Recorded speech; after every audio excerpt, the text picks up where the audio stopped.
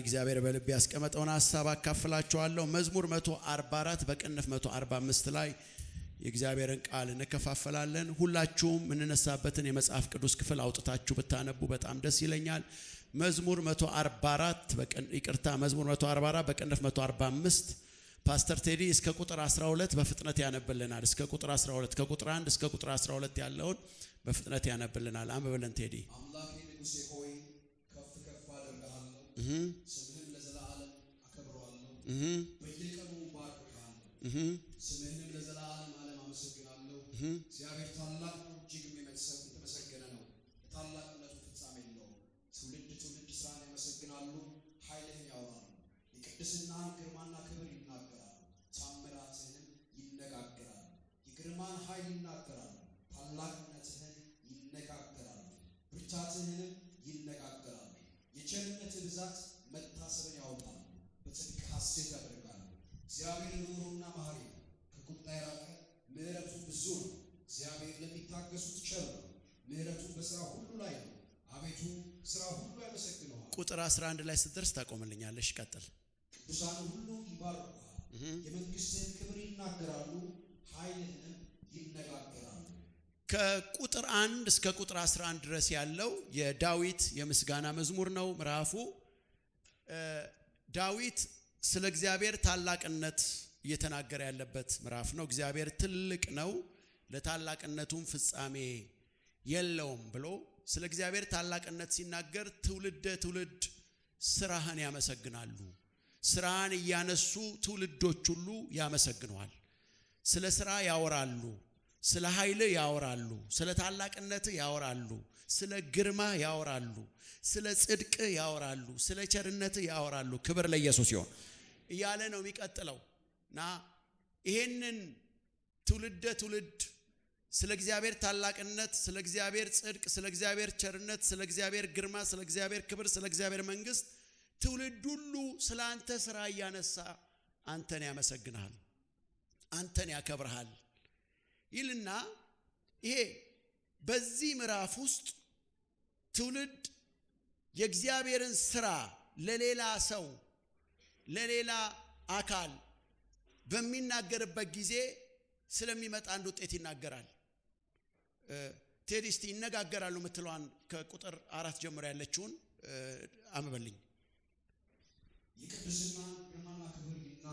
ይናገራሉ፣ ይናገራሉ ይነጋገራሉ። ይናገራሉ፣ ይነጋገራሉ።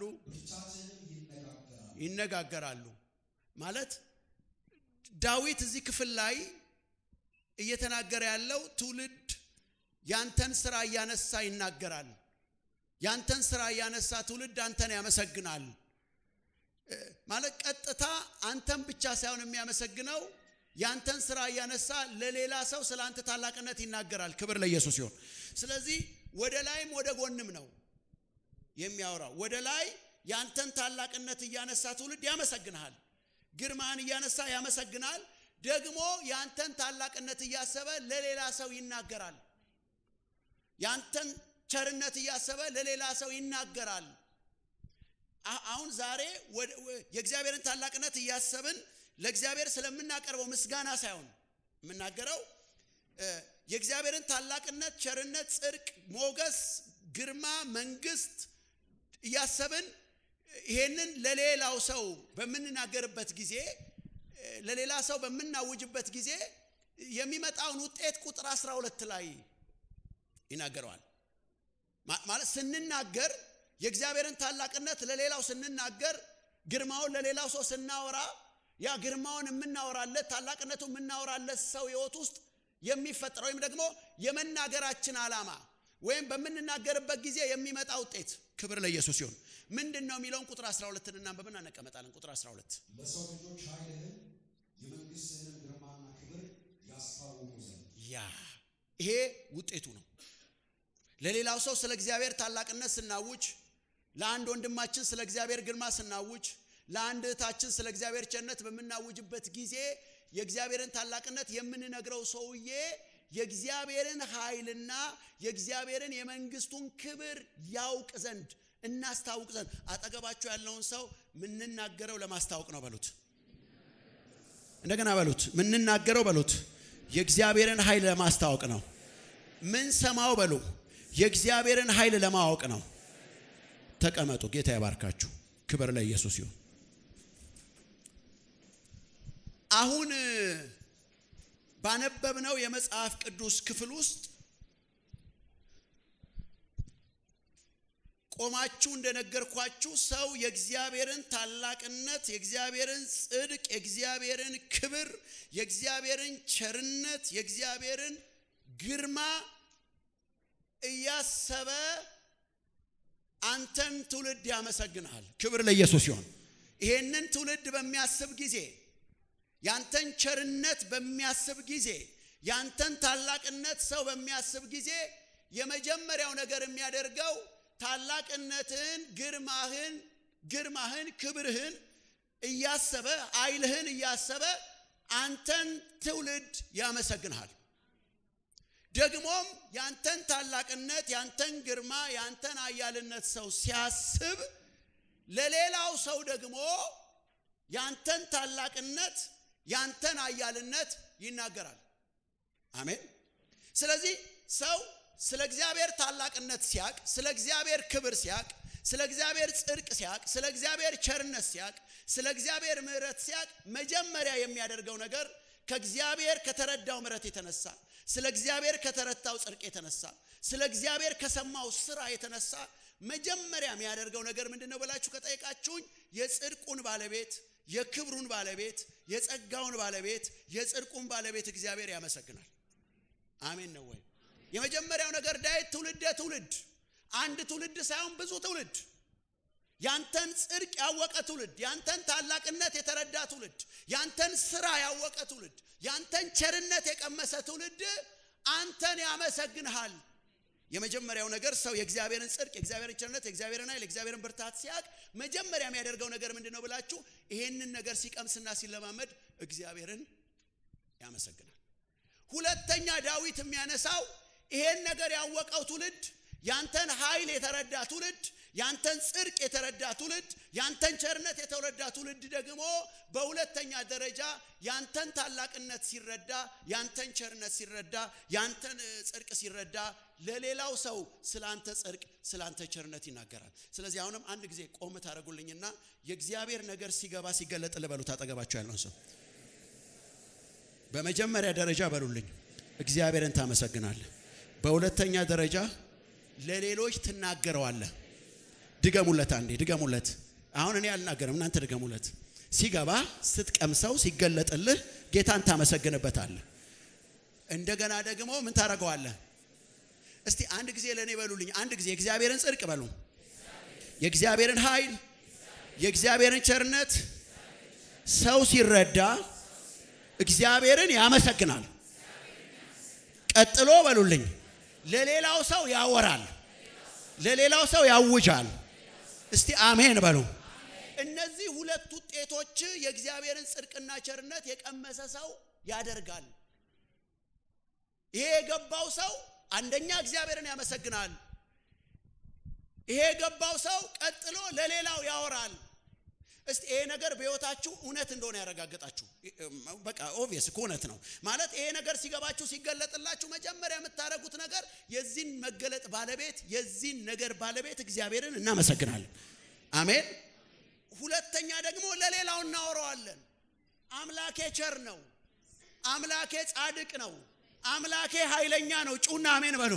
ለሌላው እንናገራል። በነገራችን ላይ እነዚህን ሁለት ነገሮች የሚፈጥረው እነዚህን የእግዚአብሔር ባህሪያትና ማንነቶቹን መረዳት ነው። ሰው የእግዚአብሔር ማንነት በመዝሙር 145 ልክ ከተገለጠለት ከነዚህ ሁለት ነገሮች ውጭ ምንም አታደርግም። ኤ ሲገባ የምታደርገው የመጀመሪያ ነገር እሱ ማመስገን ነው። ሌላ ምንም ቀጥሎ የምታደርገው ነገር ለሌላው ሰው እንዴት እግዚአብሔር ቸር እንደሆነ ማውራት ነው። እንዴት እግዚአብሔር ኃያል እንደሆነ መናገር ነው። ስለዚህ የትኛውም የሚገለጥልን የእግዚአብሔር ማንነት በተገለጠልን ጊዜ ምላሻችን የሚሆነው መጀመሪያ የመገለጡን ባለቤት ማመስገን፣ ቀጥሎ ለትውልድ ትውልድ የመገለጡን ማንነት ስለ እግዚአብሔር ለትውልድ ማወጅ ነው። አሁንም ይሄን ነገር እንዳትረሱ። ዳዊት ሁለቱም ነገር ይሄ ነገር በገባው ሰው ህይወት ውስጥ ይሆናል። መጀመሪያ እግዚአብሔርን ሰው ያመሰግናል፣ ቀጥሎ ለሌላው ሰው ያውጃል ይላል ናው እኔ ከነዚህ ሁለት አስተሳሰቦች አንደኛው ላይ ነው አሁን አተኩሬ ማውራ። የትኛው ላይ ነው? ሰው ይሄ ሲገባው ይሄን ሲረዳ ለሌላው ሰው ታላቅነቱን ያወራል፣ ይናገራል። በዝማሬ ይሆናል፣ በስብከት ይሆናል፣ በጨዋታ ይሆናል። ክብር ለኢየሱስ ይሁን። ይሄን ያወራል። ትውልደ ትውልድ ታላቅነትን ይነጋገራል።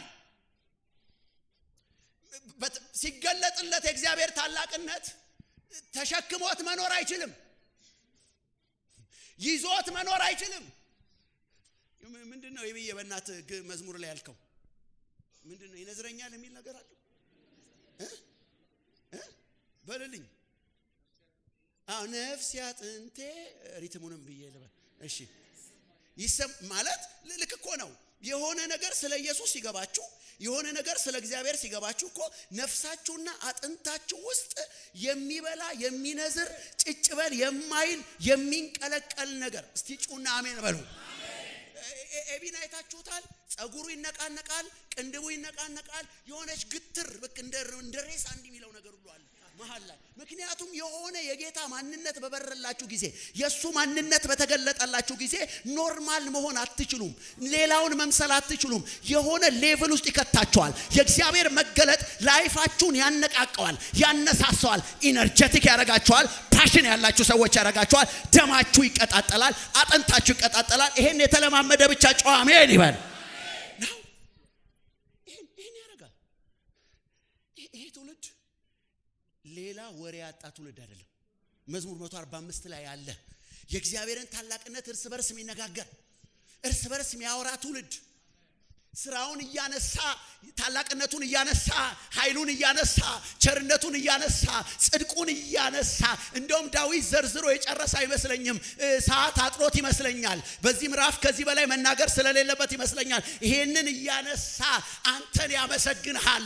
የቸርነትን ብዛት እያሰበ የጽድቅን ብዛት እያሰበ ለካ እግዚአብሔርን ለማመስገን የእግዚአብሔር ማንነት በቂ ነው። እግዚአብሔርን ለማመስገን የእሱ ማንነት በቂ ነው። የእሱ ባህሪ በቂ ነው። የቸርነቱ ብዛት፣ የጽድቁ ብዛት፣ የምህረቱ ብዛት፣ የታላቅነቱ ብዛት፣ የግርማው ብዛት፣ የታላቅነቱ ብዛት፣ የክብሩ ብዛት፣ የመንግስቱ ብዛት። እስቲ ጩና አሜን በሎ።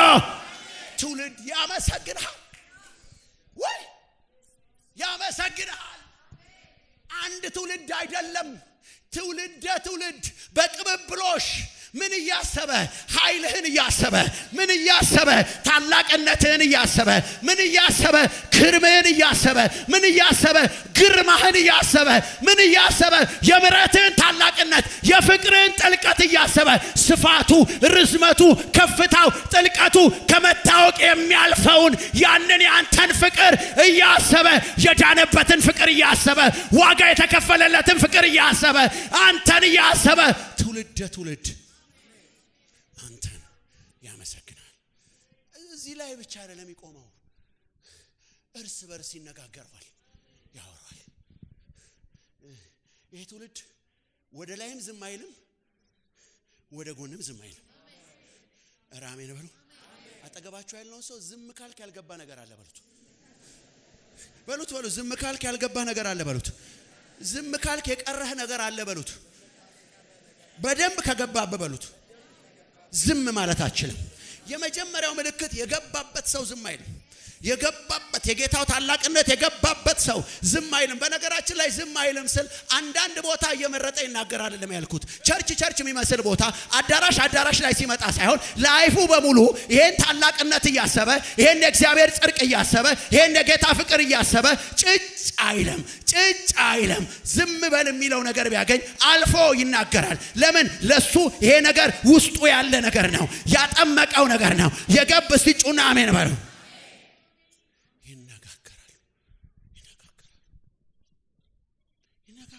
ታላቅነትህን ይነጋገራሉ።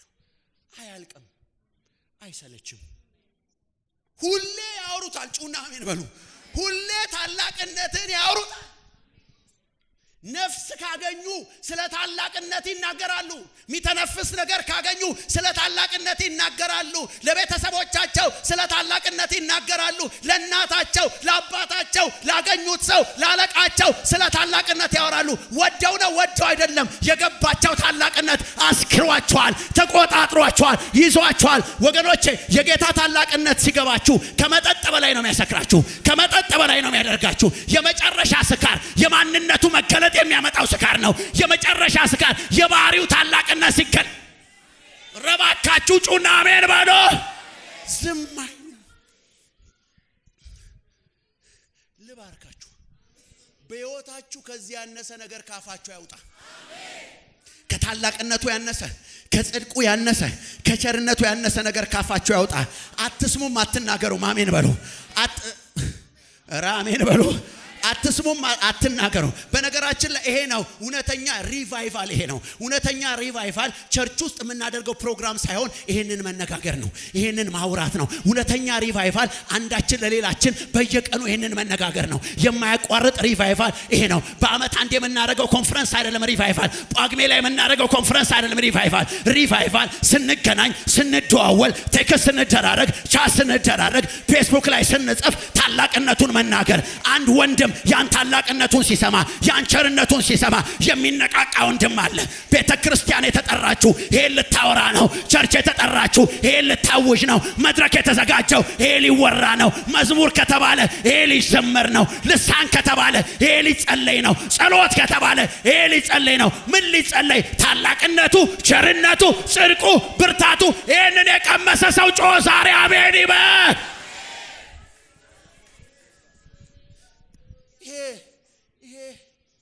ቶርቶ የሚያልቅ መገለጥ አይደለም፣ አያልቅም። ይሄን ጨርሰን ነው ወይ ሌላ ወሬ እያወራን ያለ ነው? ታላቅነቱን ጨርሰን አልቆ ነው ወይ? ቴዲ እስቲ አንድ ጊዜ አንድ ጊዜ ተበቃጫ ብዙ አልሄድም፣ ከቁጥር አራት ጀምረ መዝሙር አርባ አምስት አጠገባችሁ ያለውን ሰው አይሉን ካላወራኝ አታውራኝ በሉት። ቀጥል ቴዲ። የቅድስናን ግርማ ክብር ካልነገርከኝ አታውራኝ በሉት። ይሄን ካልነገርከኝ አደውልልኝ በሉት። ይሄን ካልነገርከኝ ከፌስቡክ ጓደኝነት አውጣኝ በሉት። ኧረ በኢየሱስ ስም ወፈዘዝ ወደ ነገዘ ምን በሉ በሉልኝ እንጂ ሌላ የምታወሩ ሰዎች ጭጭ እያላችሁ ነው። ንገሩልኝ ንገሩልኝ። ቀጥል ቴዲ።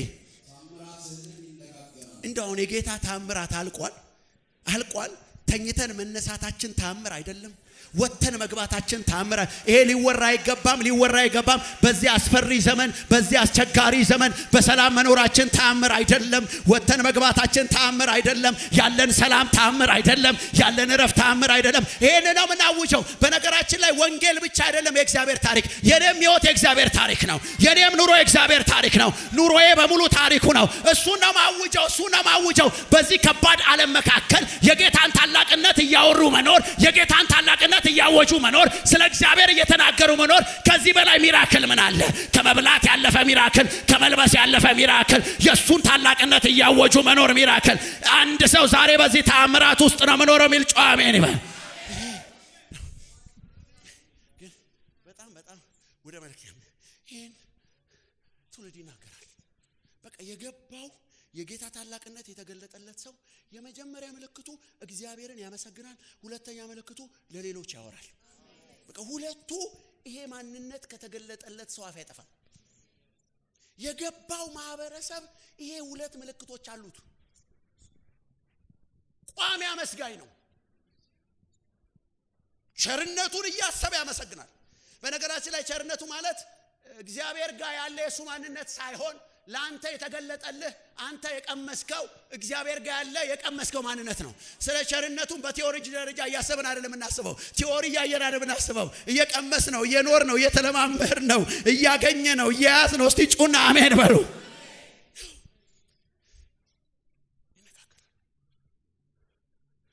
ና ለሌላው የሚናገሩበት ዓላማ የእሱን ጽድቅ፣ የእሱን ታላቅነት፣ የእሱን ኃይል፣ የእሱን ግርማ ለሌላው ሰው የሚናገሩበት ዓላማ ቁጥር 12 ነው። ቴዲ ቁጥር 12ን ቶሎ በል። ለሰው ልጆች ኃይልህን የመንግስትህን ግርማ ክብር ያስታውቁ ይሄ ነው ፐርፐዙ። እኔ ለአንድ ሰው የእግዚአብሔርን ታላቅነት፣ የእግዚአብሔርን ግርማ፣ የእግዚአብሔርን ጽድቅና ቸርነት ብነግረው ቁጥር 12 የሚለው ሰውየው የሚሰማው ሰውዬ የእግዚአብሔርን ቅድስና፣ ግርማ፣ ክብር የምነግረው የእግዚአብሔርን ኃይል፣ መንግስትና ክብር ያውቃል። እሺ፣ አጠገባቸው ያለውን ሰው መናገር ማሳወቅ ነው በሉት። የእግዚአብሔርን ማንነት ስነግር በሉት። የእግዚአብሔርን ማንነት ትረዳለህ። ማሳወቅ ነው ማሳወቅ ነው። አሁን ቆሜ እዚህ ጋር ስለ እግዚአብሔር ታላቅነት ስነግራችሁ ስለ እግዚአብሔር ማንነት እያወቃችሁ ነው። እውቀታችሁ እየጨመረ ነው። እውቀታችሁ ከፍ እያለ ነው። ያስታውቁ ዘንድ የሚናገሩት ለሰዎች አንተን ታላቅነት ያስታውቁ ዘንድ ያንተን ታላቅነት ይናገራሉ ይናገራሉ። ከዚህ በኋላ ነው በቃ አሁን ስብከት መጀመረው። ያስታውቁ ዘንድ ምን ማለት ነው? ሰዎች ቸርች መጥተው የእግዚአብሔርን ታላቅነትና ግርማ ሲሰሙ ስለ እግዚአብሔር ኃይል መንግስትና ክብር ያውቃሉ፣ ይገባቸዋል። መገለጡ የእነሱ ይሆናል፣ ከእነሱ ጋር ይዋሃዳል። እችን እንዳለ ያዙና መዝሙር 77 በቅንፍ 78 እንሂድ።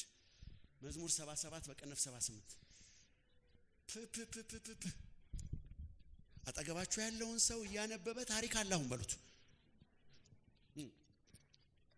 ቴዲ ጀምር፣ ካገኘው ጀምር ከቁጥር አንድ አቤቱ የመድኃኒት አምላክ በቀንና በሌሊት በፊትህ ጮህ። ሰባ ሰባት ሰባ ስምንት እሺ፣ ሰባ ሰባት ሰባ ስምንት እሺ።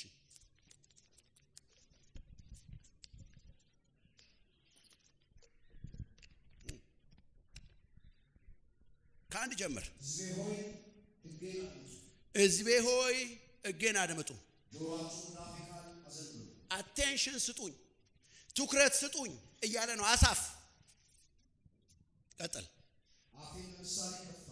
አፌን በምሳሌ ከፍታለሁ።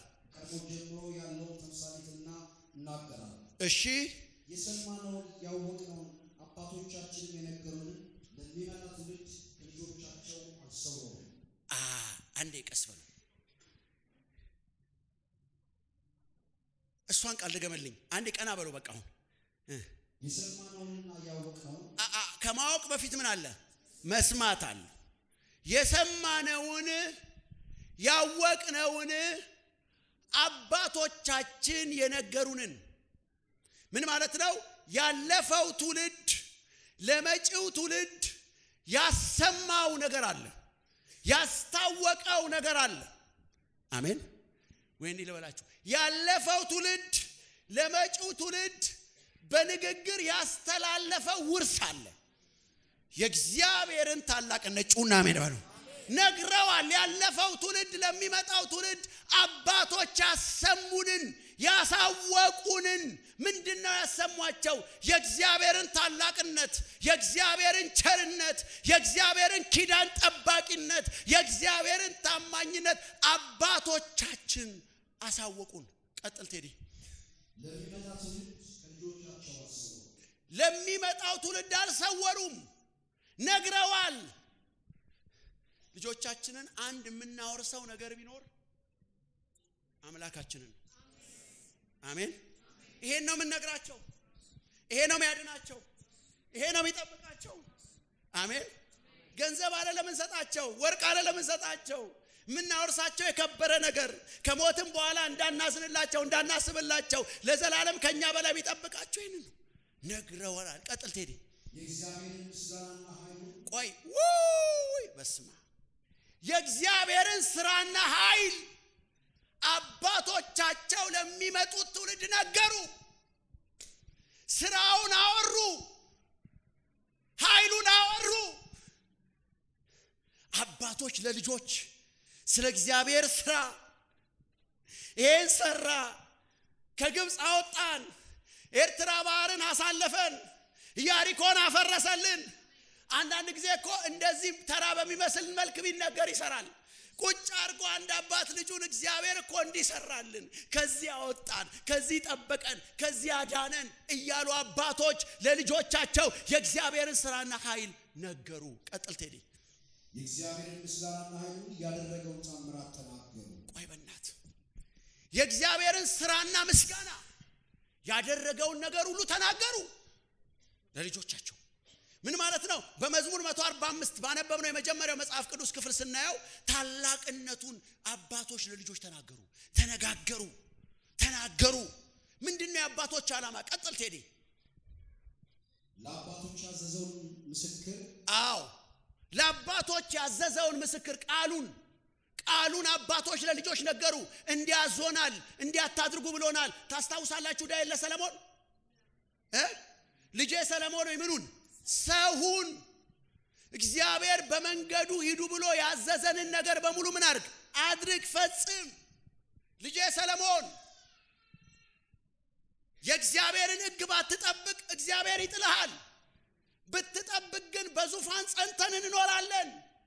አንድ አስጠንቅቆት ያለፈው ነገር ዳዊት ለሰለሞን የእግዚአብሔርን ስርዓትና ሕግ ጠብቅ ብሎ ነግሮት ሄደ። ዳዊትም እሺ ቀጥል ቴዲ። በያዕቆብ አቁነ በእስራኤል ምን ማለት ነው? እግዚአብሔር ለአባቶች የገባውን ኪዳን ልክ ያዕቆብና እስራኤል ጋር ሲደርስ ሕዝብ መሰረተና ልክ እዛ ጋር ሲደርስ ሕግ ሰጥቶ እስራኤልን እንደ ሕዝብ ኪዳን ገብቶ መረጠው። ይሄ ለእነ አብርሃም የገባው ተስፋ ውጤት ነው። አቆመ፣ ምስክሩን አቆመ። በቃ ከዚህ ጊዜ ጀምሮ እናንተ ሕዝቦቼ ናቸው፣ እኔም አምላካችሁ ነኝ አለ። ደነገገ፣ አቆመ ምስክሩን። ቀጥል ቴዲ። የሚመጣ ትውልድ የሚወለዱ ልጆች ያውቁ ዘንድ በስመ የሚመጣው ትውልድ ያንተን ታላቅነት ያውቅ ዘንድ ያንተን ስራ ያውቅ ዘንድ አይደለም። አሁን ያለው ትውልድ የሚመጣው ትውልድ ያለው ትውልድ ወደሚመጣው ትውልድ ማስተላለፍ የሚገባ እውነት አለ። ስለዚህ የሚመጣው ትውልድ እግዚአብሔርን የሚያውቀው ካለው ትውልድ ነው። አባቶች ናቸው ለልጆች እግዚአብሔርን ማወቅ የእግዚአብሔርን ታላቅነትና ጽድቅ ማውራት ያለባቸው። ስለዚህ እግዚአብሔርን ማወቅ ተሸጋጋሪ ነው፣ ተላላፊ ነው። ቀጥል ቴዲ። ተነስተው ለልጆቻቸው ይናገራሉ። ተነስተው ለልጆቻቸው ይናገራሉ። በነገራችን ላይ ልጆች የሚለውን እኔ በሁለት ከፍዬ ነው ማየው። አንደኛ በስጋ የወለድናቸው ልጆች፣ ሁለተኛ እንደናንተ አይነት በመንፈስ የወለድናችሁ ልጆች። ይሄንን ነው ልንነግራቸው የሚገባው። ክብር ለኢየሱስ ይሁን። ታላቅነቱን፣ ጽድቁን፣ ኃይሉን፣ ቸርነቱን ነው ልነግራቸው የሚገባው። አሁን መዝሙር 145 እና መዝሙር 78ን አገጣጥሜ ሳሳያችሁ አባቶች ይናገራሉ ያንተን ታላቅነት፣ ያንተ ምስጋና፣ ያንተን ኃይል አይደል? እዛም ጋር ትውልድ ምን ያደርጋል? ይነጋገራል ያንተን ኃይል፣ ያንተን ታላቅነት፣ ያንተን ጽድቅ። ናው አንድ ጊዜ ስሙኝ። አባቶች ለልጆች ሲናገሩ ልጆች እግዚአብሔርን ማወቅ በሕይወታቸው ይፈጠራል። ኃይሉን ማወቅ በሕይወታቸው ይፈጠራል። እኔ ስናገር የእግዚአብሔርን ማንነት መረዳት በውስጣችሁ ይፈጠራል። አንድ ወንድም ለአንድ ወንድም ስለ እግዚአብሔር ነገር ሲያወራ ስለ እግዚአብሔር ያለውን እውቀት በዛ ሰውዬ ሕይወት ውስጥ ይጨምራል። ናው አልቲሜት ጎሉ አሁን ይሄ ነው። ቀጥል ቴዲ፣ አልቲሜት ጎሉ ጋር ልምጣ። ቀጥል። ቆይ ቆይ ቆይ ቆይ ቴዲ ቆይ ትውልድ ለትውልድ ጓደኛ ለጓደኛ አባት ለልጅ ፓስተር ለሕዝብ የእግዚአብሔርን ታላቅነት ሲያወራ አገልጋይ ለተገልጋይ ሲያወራ ከኔ ጋር ናችሁ? ሲያወራ ይሄ እግዚአብሔርን ማወቅ ከአንድ ሰው ወደ ሌላ ሰው በንግግር ሲተላለፍ እግዚአብሔርን ማወቅ ለሰዎች በንግግር ስናሳውቅ እኔ ዛሬ እናንተ እግዚአብሔር እንድታቁ ቃል እየጠቀስኩ ስናገር ቃል እየጠቀስኩ ሳስተምር የሚተላለፍ የሚሸጋገር እግዚአብሔርን ማወቅ በእናንተ ውስጥ ሲሰራ በዛ እግዚአብሔርን ማወቅ ውስጥ የሚሰራ ስራ አለ። ስሙኝ፣ እግዚአብሔርን ስታሳውቁ ለሰዎች ትልቅ ነገር ነው የሰጣችኋቸው። እስቲ ጩኹና አሜን በሉ። big ነገር ትልቅ ነገር የከበረ ነገር።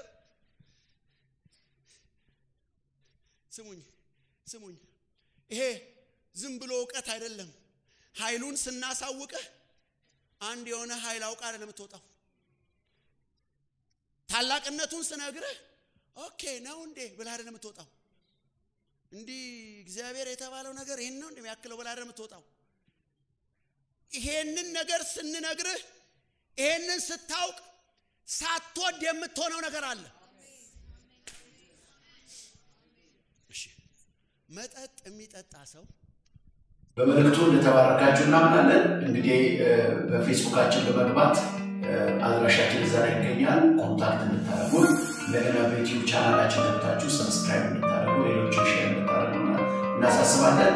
ስለዚህ በስልክም በኢሜይልም በተለያየ መንገድ ልታገኙ ትችላላችሁ። እኛ እናንተን ለማገልገል ሁልጊዜ ዝግጁ ነን። ሌሎች ትምህርቶችን እንለቅላችኋለን። እንግዲህ ከእናንተ አስተያየት እንፈልጋለን። feedback እግዚአብሔር ባርካችሁ።